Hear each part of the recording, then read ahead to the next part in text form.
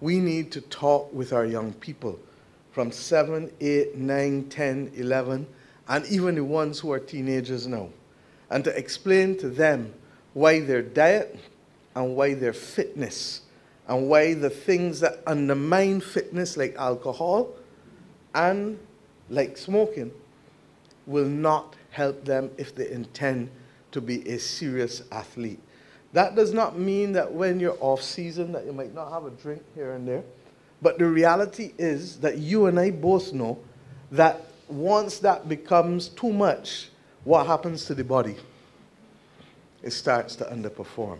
And therefore, the very thing that you want, which is opportunity, who is denying it? Not a stranger, but yourself to yourself.